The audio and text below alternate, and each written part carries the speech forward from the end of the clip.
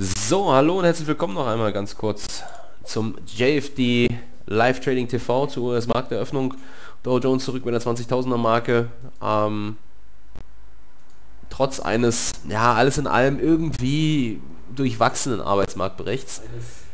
So, Tab stumm schalten. Also, man kann mich hören und man kann auch das Bild sehen, das ist schon mal sehr schön. Ähm, sicherlich, auf den ersten Blick denkt man sich jetzt, wovon redet der Mann? Ja, 227.000 neu geschaffene Stellen ex Agrar, 175.000 wurden erwartet, ist doch eigentlich bombig, ja, kann man sich doch nicht beschweren. Das ist absolut richtig, nur zwischen den Zeilen halt sehr, sehr durchwachsen, denn die durchschnittlichen Stundenlöhne sind äh, bei 0,1% rausgekommen, bei 0,3% erwartet und die letzten wurden deutlich nach unten revidiert auf nur noch 0,2%.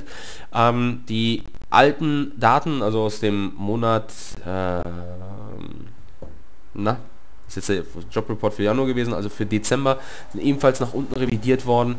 Ähm, Unemployment Rate ist nach oben getickt, das heißt also, wir haben jetzt 4,8% äh, Arbeitslosenquote Jetzt kann man natürlich dann auf der Kehrseite argumentieren, ähm, dass wir hier einen Anstieg der Fulltime-Jobs von 457.000 zu sehen bekommen haben. Gleichzeitig sind allerdings die Part-Time-Jobs um 490.000 ähm, eingebrochen. Ja, so kann man das dann auch argumentieren, ähm, dass das doch eigentlich alles gut ist und eigentlich ganz grundsolide ist.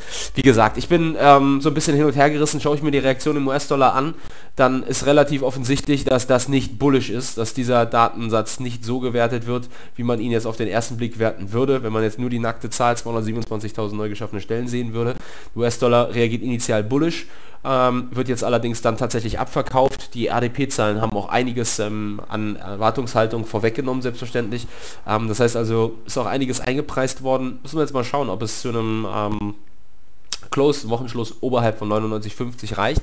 Fakt ist auf jeden Fall, dass sich Gold einigermaßen stark präsentiert. Also das heißt, wenn wir uns mal hier den 15 Minuten Chart Gold anschauen, dann sehen wir initial eine erst bärische Reaktion und jetzt starten wir auf der Oberseite durch, wie erwartet, möchte ich fast sagen. Das war das, was ich ja im Morning Meeting meinte auch.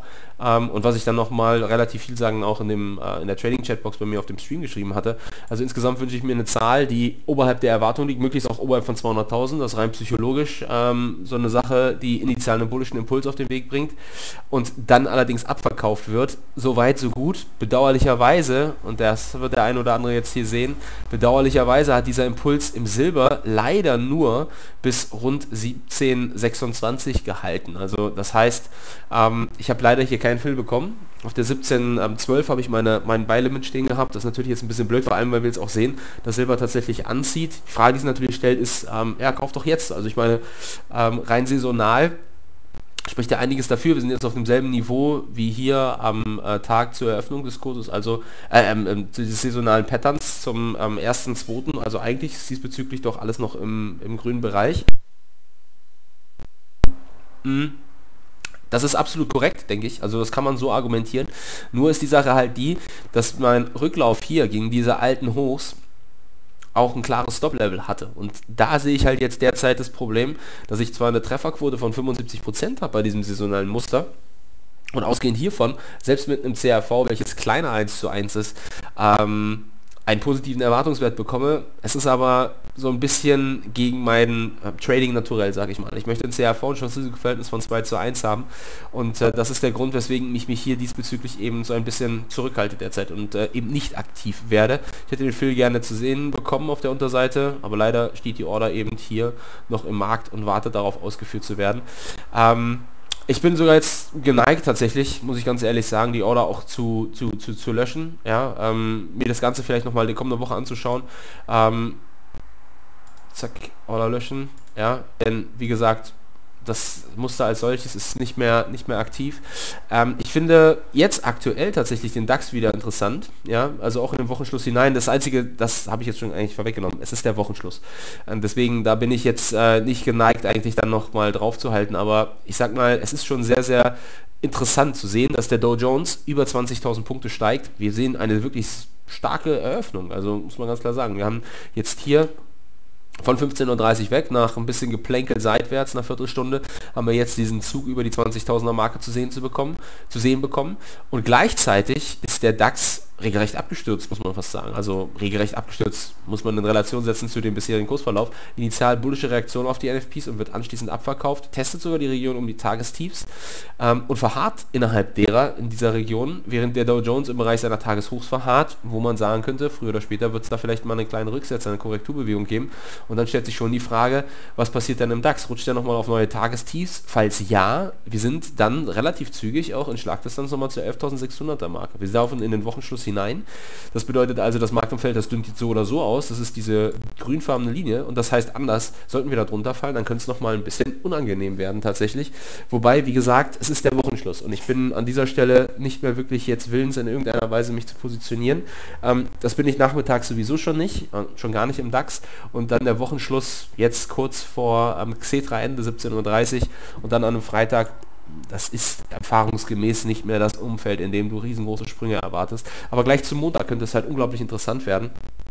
Ähm, denn da wird die 11.600er Marke, so wie sich das Bild aktuell dasteht, wieder im Mittelpunkt des Geschehens ähm, stehen. Und eventuell wird dann der Bruch erfolgen und dann kann es zügig auch mal richtig ähm, abwärts gehen. Und dann Test der Vorwochentiefs um 11.500, 530 Punkte anstehen. Und wenn dann ausreichend Nervosität in den Markt kommt, dann steht auch durchaus ähm, ein, ein Lauf unter dieses Level und ein Test der 11.400er Marke eben ähm, zur Debatte. Und äh, in diesem Zusammenhang ist es dann eben so, dann muss man sich klar machen, dann wird es wirklich eng für die Bullen. Dieses Level gilt es auf jeden Fall zu verteidigen. Sollten wir nämlich unter dieses Niveau fallen, sind in den Folgetagen nochmal etwas schärfere Kursabschläge tatsächlich dann einzukalkulieren. Kommen wir zurück zum Dow Jones. Also ich bin hier aktuell etwas überrascht, ob der Stärke, kann mit der nicht wirklich was anfangen. Ja, also sage ich ganz ehrlich, ich wüsste nicht, was ich daran Positives sehen sollte. Ähm, bin auch weiterhin für den Dow Jones tatsächlich eher bärisch eingestellt, wobei man natürlich jetzt sagen muss, dass wenn ich auf der, und das ist nicht ganz richtig, das ist nicht der Daily, sondern das ist hier der Stundenchart, wenn man natürlich sich das Bild jetzt hier anschaut auf der Stunde, ähm, dann muss man natürlich auch wiederum zugestehen, wir haben jetzt nach dieser Sequenz fallender Hochs und fallender Tiefs hier und dem nicht erfolgten Rücklauf über diese am vorgestrigen Tag, also am Mittwoch, haben wir diesen Rücklauf jetzt gerade zu sehen bekommen. Also eventuell ist das auch eine markttechnische Reaktion, die gerade den Dow Jones da so ein bisschen treibt. Wobei natürlich jetzt mal abzuwarten bleibt, ob dieser Modus sich da oben nicht ein bisschen stark überdehnt darstellt. Also das heißt also kurzzeitig sind da durchaus mal Rücksetzer denkbar. Heißt anders formuliert, wenn ich ausgehend von der Open Range hier den Dow trade, dann würde ich zum Beispiel den aggressiv in diesem Bereich shorten ähm, mit Stops oberhalb der Tageshochs. Oder vielleicht würde ich sogar einen kurzen Spritzer über das Tageshof abwarten und würde solch einen Break dann faden. Ähm, und dann mit einem ATR-Stop arbeiten, also sprich, ich würde, würde warten, dass ein kurzer Spruch kommt, der ist aber nicht nachhaltig, das ist ein Fehlausbruch. Und dann, also das nennt man dann in der Trader-Fachjargon Faden eines solchen Breakouts. Und dann könnte man hier sich die ähm, ATR anschauen, die durchschnittliche Schwankungsbreite über die letzten 14 ähm, Kerzen, die verläuft aktuell bei 15 Punkten, könnte man mit einer ATR von 2,5 bis 3 arbeiten. Das wäre dann ein Risiko zwischen 37,5 bis 45 Punkten.